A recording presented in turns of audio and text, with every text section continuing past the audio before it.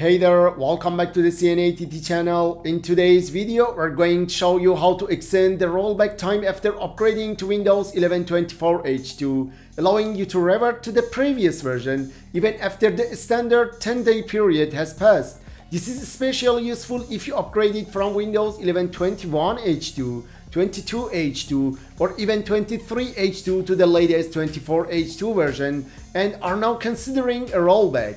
If you're still within that initial 10 day rollback period but want more time, stick around, we've got you covered. Let's get started. Step 1. Check the current rollback time. Before we begin, here's a simple way to check if you still have time to rollback and extend the rollback period. Just follow these steps. Open settings, go to system, recovery. On the recovery options, look for the go back option. If available, it indicates that some of the 10 day rollback period is still remaining and you can extend it. If the go back option is grayed out or not visible, it means the 10 day rollback period has expired and unfortunately, you can no longer extend it. Another way to check the remaining rollback time is by using the command prompt. Open the start menu, type cmd and select run as administrator. Click yes on the user account control prompt to allow administrative access. Now let's check how many days you have left for rollback. In the command prompt window, type or paste the following command, then press enter. DISM space forward slash online space forward slash get dash os uninstall window. This command is available in the description so we can easily copy and paste it. If the rollback files are still available, you'll see how many days remains to rollback.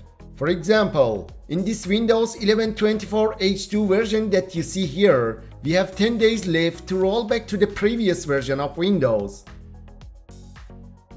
If you see an error like 1168 element not found, it means the rollback files have already been removed and you can no longer roll back.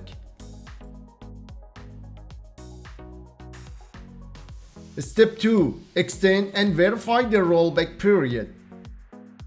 Now let's extend the rollback period so you can revert to the previous version of Windows after the initial 10 day period.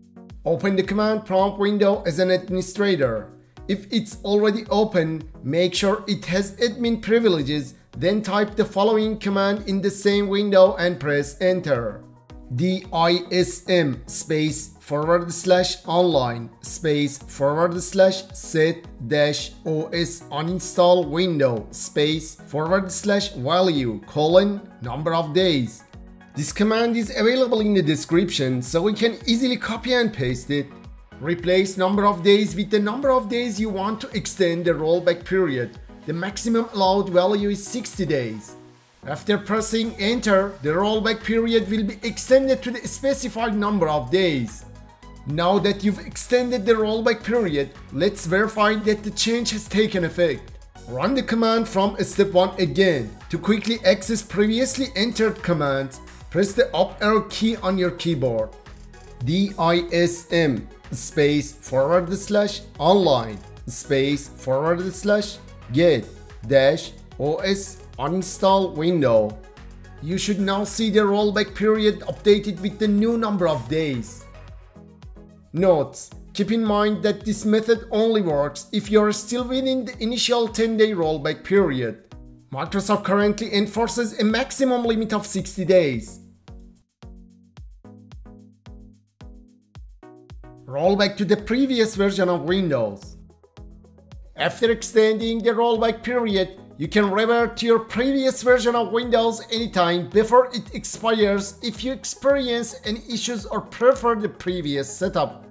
To return to your previous version of Windows, open Settings, go to System, Recovery. Under Recovery options, you should see the go back option, which will allow you to revert to your previous version of Windows. After clicking the go back button, a series of dialogues will guide you through the rollback process. Follow these steps. In the first dialog, click next, select no thanks. Click next again, then click next once more. Finally, close any open windows and click go back to earlier build to start the rollback. Please wait while your system rolls back to the previous version of Windows. For example, we have rolled back Windows 11 version 24H2 to version 23H2. And that's it! You've successfully extended your rollback period, allowing you to return to the previous version of Windows 11 even after the initial 10-day limit has passed. If you run into any issues or have questions, feel free to leave a comment below. Don't forget to like, share and subscribe for more helpful tips. Thanks for watching and we'll see you in the next video.